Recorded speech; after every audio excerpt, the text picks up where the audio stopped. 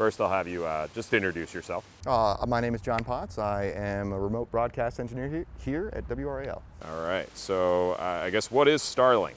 Uh, Starlink is a way that you can provide an internet connection to a place that generally doesn't have cell service, or a, uh, you can get an internet connection in an area where you normally otherwise couldn't. Particularly in this instance, we've been using it in a disaster area because there is no cell service, there's no uh, ISP connection, so this is the only way that we can transmit video back to the station is by using one of these devices. So, what does it look like? Uh, it looks like this here. Uh, it's basically just a square satellite dish. Uh, it has an array of antenna in there that shoots up to the sky towards uh, low orbit satellites, a field of 6,000 of them, I believe. Uh, and it will ping pong between different satellites as they move because low orbit satellites move a lot quicker than high orbit satellites. Generally, high orbit satellites are in geosynchronous movement with the Earth, so it takes 24 hours for a full revolution. These satellites, because they're low orbit, it only takes about 90 minutes. So they're moving so quickly that there has to be a field of them for them to be able to connect to and stay connected. Perfect. And pretty reliable. Uh, yeah, quite reliable, quite reliable. Uh, as, as evidenced by this last week, we've been using them in, in, in great number and they've been great. Yeah. And could anyone buy this? Uh, absolutely. Uh, um, it is. It's for what it does. It's very affordable. Uh, it's very user friendly. It has an app that's associated with it. So as long as you connect to the device, you've plugged everything in, and you open up the app, the app will pretty much do all the heavy lifting for you and tell you exactly what's going on. Yeah. And is that purchased online, or could you like go to Best Buy? You can you can go you can purchase it online. You can buy it at Best Buy. Now, when you purchase it online, you probably are then able to set up the subscription with it. If you go to a big box store like Best Buy, you would buy the device and then go online and pick your subscription plan.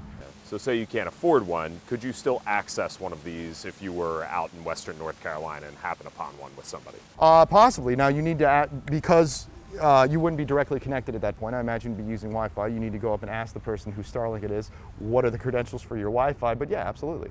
Gotcha. Um, and does it work with all types of cell phones, computers, any sort of smart devices like that? Anything that has a that can connect to Wi-Fi or has a direct uh, Ethernet connection, yes, it'll work. Gotcha. Um, so, how can people without service due to Helene best get connected to something like this? Uh, that that's a difficult question because I mean the the obvious answer is just to buy one, but I don't think that they have those capabilities. So uh, hopefully there are communities that already have them in place, and hopefully they're getting the word out to say, hey, if you need to connect to the internet to even get cell service, so you can contact your family or let people know what's going on, you need to know someone that has a Starlink. But if you do, all you got to do is connect to it. Gotcha. So, I know that they've been dropping them in for like, you know, community purposes like that. If, like you went to a library that had one, they just would have to give you a password and you'd essentially be able to connect that way? I believe so, yeah. All right, cool. So, um, any idea like how much it would cost for a regular person? Uh, well, I can tell you that uh, the this model here was uh, $500 just for the device itself. Now the subs- subscription plan uh, can range depending on what you're looking for, but I mean that's pretty much the hard cost is, is the $500. I mean if you, I believe it's a monthly subscription, so if you needed it in an emergency, I can't imagine that the bar of entry would be that high just to get it off the ground for that month. Gotcha. Um, how many connections do they usually see per day? That's uh, one of these questions.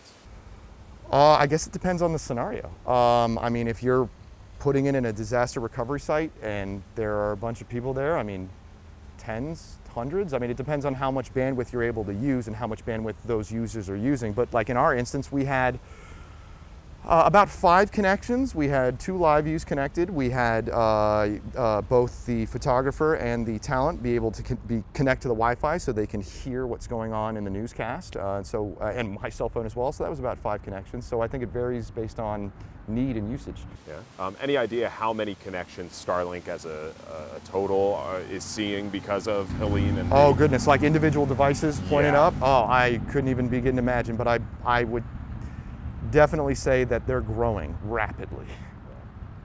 All right, cool. I think that's it. Cool. Great.